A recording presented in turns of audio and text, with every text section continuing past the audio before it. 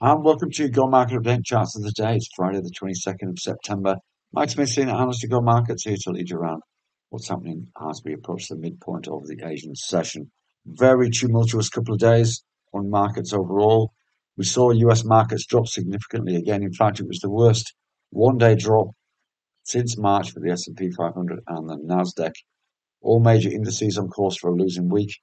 And the reasons are quite simply a little bit of a follow through from the Fed's hawkish narrative uh, subsequent to their interest rate decision, and the fact the US government are fighting again about funding uh, with the prospect of not having any money left to pay uh, government services. US futures are neutral in early Asian trading, but are starting to pick up as the day progresses. Asian markets doing likewise, generally following that weak US lead north, started the day looking pretty miserable. But the ASX is a prime example of what's happening. It was in excess of a percent down shortly after open, but now has halved those losses, uh, which is significant. I see particularly interesting buying in lithium stocks, but generally speaking, across the board, uh, a lot better than it did look initially. Despite that, European futures still pointed to a slightly lower open, but again slightly better than was anticipated in the VIX. Is down in Asian trading, but continued to climb. We'll look at a daily chart from the support we hit earlier in the week. US dollar index hit six months highs a couple of days ago, but failed to hold that yesterday to finish near neutral. It is up today so far. Uh, gold dropped again, but it's comfortably holding the 200 EMA and is slightly higher in Asia. Interestingly, copper is also higher, as is oil today. Uh, copper did close at monthly lows yesterday, which was of note.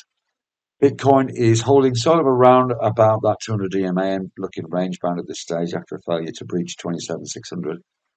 And global PMI data is the highlight for today.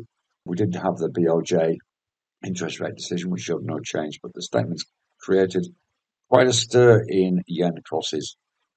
A couple of things to have a look at from a chart point of view that caught our eye today. And let's start with the rupee pound yen. We're looking at the 15 minute chart here. You can see there. This is the impact of that uh, statement that came out from the BOJ subsequent to the interest rate decision. You can see there we have had a pretty sharp move upwards in the last 45 minutes or so. Still looks to breach that 181 at 88 and um, maybe a short term move up around about 50 pips to 182.48 uh, level, although it could make its way back up to that R1 pivot at 182.65. So regaining a lot of the losses we saw uh, during the course of yesterday, subsequent to the BOE pause in interest rates. One to keep an eye on for sure. On the ASX, uh, we're relooking at LNK, uh, Link Administration Holdings. You can see again, they're having another test of this key level at around about 143. We see this having plenty of upside in the long term, uh, though maybe a little bit of a slow mover. But certainly up to 160 looks very much on the cards. One to keep on your radar.